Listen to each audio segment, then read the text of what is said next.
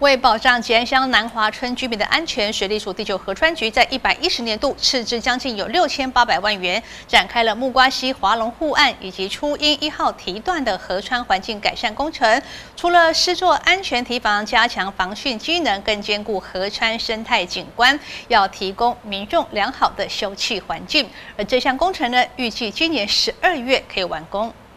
华龙护岸是花莲溪主要支流木瓜溪河段，原本是花莲溪左岸还没有治理的缺口，而且初因堤段没有防汛道路。水利署第九河川局一百一十年度执行了木瓜溪华龙护岸及初音一号堤段的河川环境改善工程，将新建华龙护岸还有初音堤段的环境景观。那我们木瓜溪，我们有一个非常重要的一个工程的一个营造，哈，就是我们华龙跟初印号提防的一个环境营造。那华龙大概全长有一千四百一十四公尺，那其中有啊，目前来讲还有五百一十四公尺的一个缺口。那在我们这华龙，在过去我们的呃的过的一个观察当中，其实华龙它的高滩地其实慢慢已经稳定了，好，所以它具有在安全之之后，我们具有一个环境营造的一个啊价值，好，所以我们啊一方面我们在做工程环境营造的过程当中，我们希望把在地的环境跟它的生态能够来做一个富裕；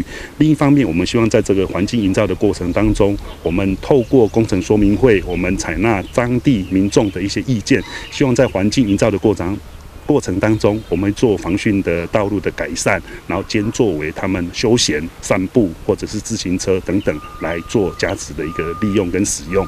那整个工程的长度在华龙跟初音加起来大概有两千三百公尺左右。